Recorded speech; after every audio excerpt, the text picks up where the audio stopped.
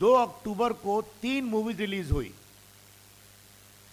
और मिस्टर कोमल नाहटा हैं, बहुत बड़े फ़िल्म ट्रेड के हैं, आप जानती होंगी। उन्होंने कहा है कि the national holiday of second October saw earning of over 120 120 crore record by three movies अब जब देश में इकोनॉमी थोड़ी साउंड है, तभी तो एक दिन में 120 करोड़ रुपया रिटर्न आता है। एक दिन में लोग फ़िल्मों पर 120 करोड़ फूक दे रहे हैं। और आप कहते हैं देश की अर्थव्यवस्था की रफ्तार सुस्त पड़ गई है। अब जब देश में इकोनॉमी थोड़ी साउंड है तभी तो एक दिन में 120 करोड़ रुपया रिटर्न आता है। मुंबई में पत्रकारों के बीच केंद्रीय मंत्री रविशंकर प्रसाद ने न सिर्फ़ अर्थव्यवस्था की सुस्ती को खारिज किया बल्कि बेरोजगारी पर राष्ट्रीय नमूना सर्वेक्षण कार्यालय यानी एनएसएसओ की रिपोर्ट को भी गलत बता दिया। रिपोर्ट में कहा गया था कि साल 2017 में बेरोजगारी की दर पिछले 45 साल में सबसे ज़्यादा रही।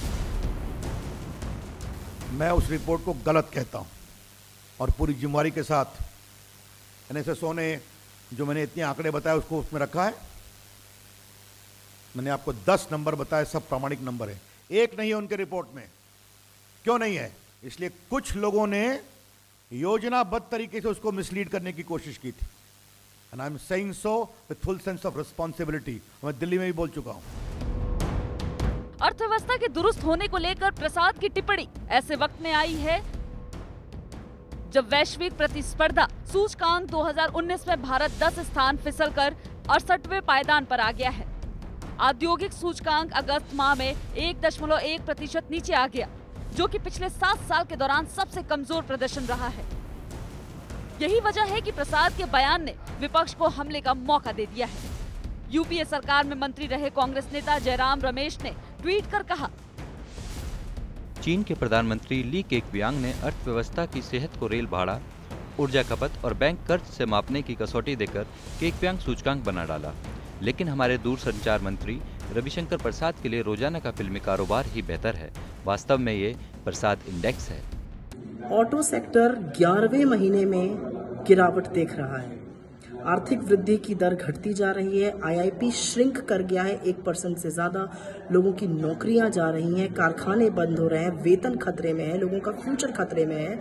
और मंत्री महोदय कहते हैं कि पिक्चरों का कलेक्शन बढ़ रहा है। ये हास्यपद नहीं है। ना कि ये गैर जिम्मेदाराना बयान है। ये असंवेदनशील है और इसके लिए लोग इस सरकार को माफ़ नहीं करेंगे क्योंकि मंदी इस सरकार की बनाई हुई है। इस बीच सीपीएम महासचिव सीताराम येचुरी ने कहा कि बीजेपी की सरकार जनता की समस्या का मखौल उड़ाने का कोई मौका नहीं छोड़ती। येचुरी ने ट्वीट कर कहा बीजेपी की सरकार लोगों की समस्या का मखौल उड़ाने का कोई मौका नहीं छोड़ती।